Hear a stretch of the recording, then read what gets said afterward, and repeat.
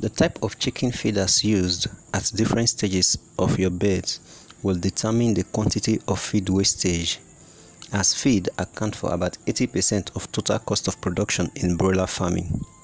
Stay till the end as I will unlock the best type of feeders to reduce this wastage in your farm. What's up my people? Welcome to my YouTube channel, Life of a Farmer, Loaf, where we discuss farming in details. I remain your loyal boy, Ishokri of Okironyi. You can call me Ovorons. And if this is your first time, please click the subscribe button and the bell icon so that you don't miss any videos. And to all my old subscribers, I love you all. Also, please don't forget to share, like and drop your questions in the comment section and I will respond to them. So without wasting much of your time, let's dive into the main cocoa and ensure to watch till the end because there are some secrets I shared in between and also at the end and also at the end I will reveal some other secret as well. Since feed account for 80% cost of production, as a farmer, be it cockerel layers, boilers or pullets, your ability to reduce this number to the barest minimum will increase your profit. That is why I want to talk about the feeders. Chicken feeders varies in shapes and sizes and the age of bed is determined by the type of feeders. This is mainly for two reasons. One, to reduce wastage and two, for the beds to have easy access when feeding. On arrival of your beds at day old, there are two options. It is either you spread your feed on a sheet of paper that is spread on the floor or you use chick feeders and there are different types. The most commonly used ones for chicks are the tray feeders. The first one I'll talk about is automatic feeders. This type of feeders are automated and other forms of automation is by chicken demand. They are in form or they could they, they, they could also be called treadle feeder whereby the chicken step on it and it opens and it opens the feed box for them to eat. So the second type of feeder is the gravity feeder. This type of feeder are mostly available and very simple to use. They usually have an open container with a feed tray at the base. When you refill from the top, which is in a cone shape, the old feed gets to be eaten first. This feeder can be mounted or freestanding. One secret to reduce wastage is to make sure that the base of the feeder is placed at the back level of your beds such that it stretches a little to feed. Then the third one I want to talk about is the hanging type of feeder. This type of feeder is not different from the gravity type feeder which I have described earlier.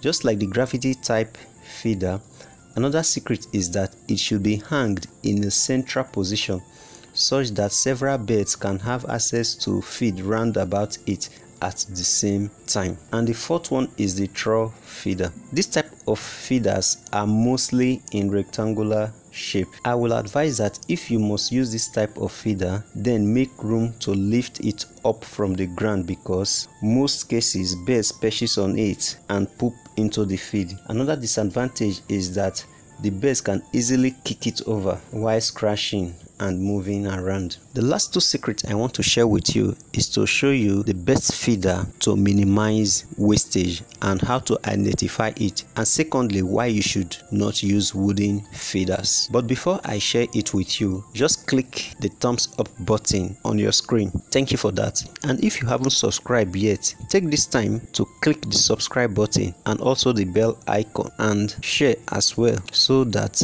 we can reach out to a larger audience and to help me grow my channel at no extra cost to you. Thanks. If you take a look at this there are no edge on it. So by the time you put your feed in here this one is kind of um, semi-automated. Let me put it that way.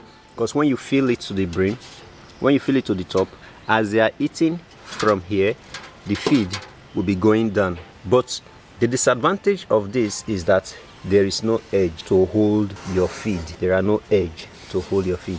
The other drink feeder i'm going to show to you you will see that there are edges to prevent the feed from falling off. You can see that the edges are flipped and this one has rust we've washed it times without number so you now see that it get rust easily. It's not supposed to get rust. Your feeder is not supposed to get rust. That is where durability now comes in.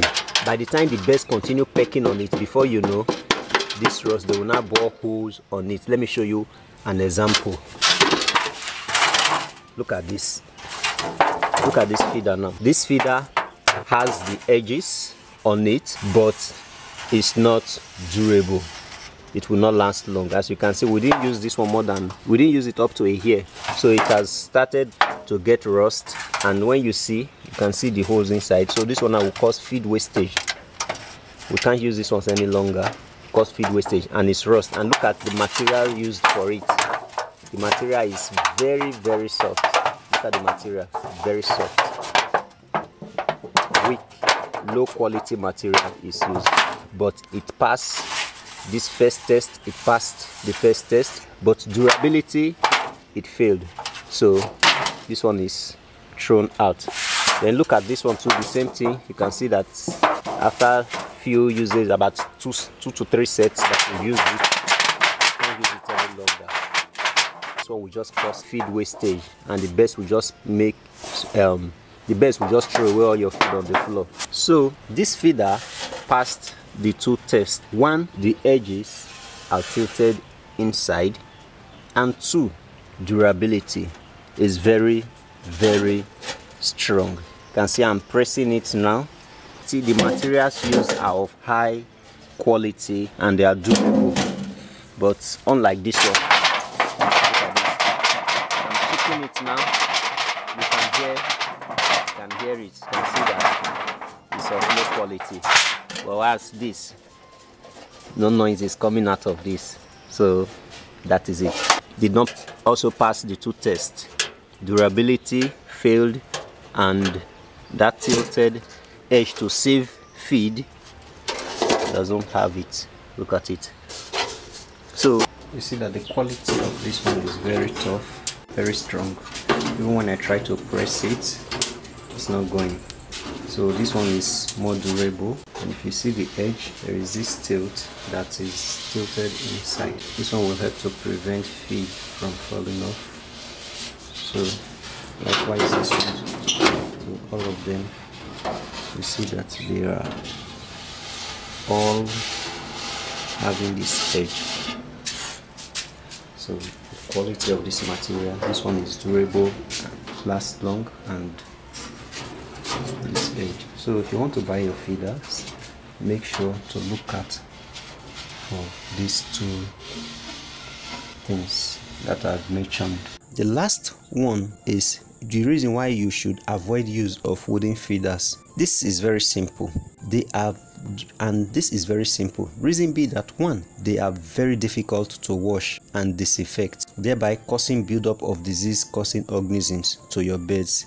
Even when you succeed in washing these um, wooden feeders it takes longer time usually days if not weeks for them to get dried. I believe you have gotten reliable information from the video. Please help me to grow my channel by subscribing. Give me likes and share don't forget to drop your comments as this will help me in the youtube algorithm.